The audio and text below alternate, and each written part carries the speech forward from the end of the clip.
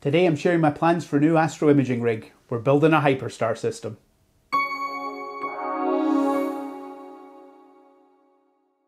Hey folks, my name's Steve and welcome to Scotia Astro. I'm really excited to be building new astrophotography rig and I decided to try out the Hyperstar from the folks over at Starizona. In this video I'll take you through my plans and show you some of the gear that I'll be using to make this a complete grab and go system. Many of you out there will have heard of Hyperstar, but for those who don't know, it's basically just a separate lens assembly that you fit onto the front of a Schmidt Cassegrain telescope, like the Celestron C6 that I'm using here. The Hyperstar unit replaces the scope's secondary mirror and it provides a wider field of view and more crucially for me, much faster imaging by drastically decreasing the telescope's focal ratio. In my case, my Celestron C6, which has a native focal ratio of f10, will become a very fast f2 system. I'll link to Starizona's website below so you can read more about it. I'd like to give a huge shout out to Diane over at Starizona, who was an absolute star in answering all my endless questions about the Hyperstar 6 and provided first class customer service. Thanks, Diana. So let's take a look now at my reasons for getting the Hyperstar and some of the gear that I'll be using to make this a fast imaging rig. I've already hinted at one of the reasons why I'm interested in the Hyperstar, and that's its speed. Here in the UK, imaging sessions can be few and far between, so anytime we get clear skies, we need to maximise them. We Brits famously talk about the weather a lot, but when you're a UK astrophotographer, this is ramped up to a whole new level. By changing my focal ratio from f10 to f2, I'll theoretically be able to image around 25 times faster during my sessions. So sub-exposures of several minutes, which are typical in astrophotography at higher focal ratios, are reduced to seconds with the Hyperstar. I'm looking forward to seeing how this looks in real world testing, so stay tuned for my first light video with this system. If you'd like to follow my journey with the Hyperstar and keep up to date with all my astrophotography adventures from here in the UK, then please consider subscribing and hit the bell notification below so you don't miss out on any of my future uploads. Thanks very much for your support, it really helps my channel to grow. It's not only the speed of my telescope that'll change, I'll also benefit from a wider field of view when imaging. By adding the Hyperstar to my C6, I'll be altering the focal length of the scope from its native 1500mm down to 300mm.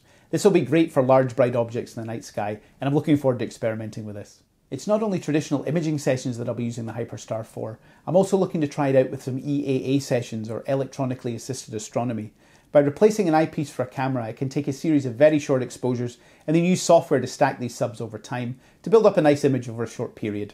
It's kind of like traditional astronomy on steroids. I'm planning some live streams over the coming months to try out the EAA capabilities of this Hyperstar system, so let me know in the comments below which targets you'd like me to image. Okay, let's talk gear. The foundation of this new system is obviously the telescope, and I've chosen a Celestron C6. Its small size and lightweight make this an ideal grab and go Hyperstar system, and I've seen great results online, especially Cuiv the Lazy Geeks YouTube channel and from Tez over on Instagram. They've been doing some great things with the Hyperstar in Bortle locations much worse than mine, so I'm excited to see what I can get from my location. I'll link to their channels in the description below, so go check them out. I'd been searching for months for a C6 OTA, but due to the supply issues that have been plaguing us all, it was really hard to come by. I eventually found a Nexstar 6 SE for sale, and even though I only really needed the scope, I grabbed it anyway, and I'll use the tripod and alt-az mount for another scope. This C6 has Celestron Starbright XLT coatings on it, so I'm hoping this will give me sharp and vibrant views of the targets that I'll be imaging. To give me more stability for imaging, I've taken the standard dovetail plate off and replaced it with two sturdy tube rings, which I'll mount on two Losmandy plates, one at the top and one at the bottom. They're on their way to me now, so I'll get these fitted as soon as I get them. Although the thinner Vixen style plate would have probably been okay for this rig, the beefier Losmandy plates will give me more mounting options when adding extra gear, which I'll cover now. I've got two cameras in mind when using this rig and I'll likely stick to one shot colour to streamline my sessions and avoid any unnecessary filter changes. I'll primarily be using the Player One Uranus C due to its small size, lightweight and sensor size. It also benefits from a non-amp glow sensor, so that'll make calibration and processing much easier hopefully. The Uranus C is an uncooled camera, but because I'll be using it for short exposures, I'm not expecting too many issues with noise and images. I'll report back on the camera's properties when I get a chance to test it fully, and I'll do a full review in another video, so stay tuned for that. I've been happily using the Player One Apollo M Max for my solar imaging, and it's been an excellent performer, so I'm expecting the same great results from the Uranus C. You may have seen Luke over on his channel using the Uranus C with a RASA 8, so go check out his results too. I'll link to him in the description below. For times when I'm planning longer exposures, I'll use my ZWO 533 MC Pro, which I absolutely love and it's been great in other projects. Check out the video linked above to see my recent review of it. Although it shares the same non-amp glow properties of the Uranus C, the 533 differs in that it's a cooled camera, so I can automatically set the temperature and give consistent results over longer exposures.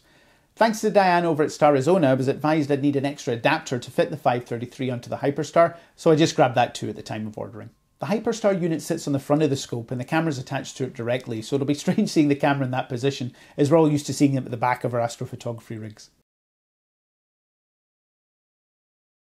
I'm really keen to use an autofocus solution for this rig, so I've opted for the Celestron motor focuser. This will fit in the back of the scope and replace the native focus knob. By using imaging software like NINA, I can get it to autofocus the scope while I sit indoors. It saves fiddling with manual focus too, and it'll hopefully give me sharp and consistent stars across the field. For dew prevention, I've got the Celestron Dew Heater Ring and the Dew Shield designed specifically for the C6 OTA. Through software, the dew ring can be controlled automatically to kick in when needed, so this will ensure the front plate doesn't fog up during my imaging sessions and potentially ruin all my hard work. I've also grabbed the dew shield, which on the face of it might be a bit overkill alongside the dew ring, but I got it to help block out any potential unwanted light pollution or glare on my subs. It's also more rigid than traditional dew shield, so it'll be handy for plonking on my LED flat panel when taking flat calibration frames.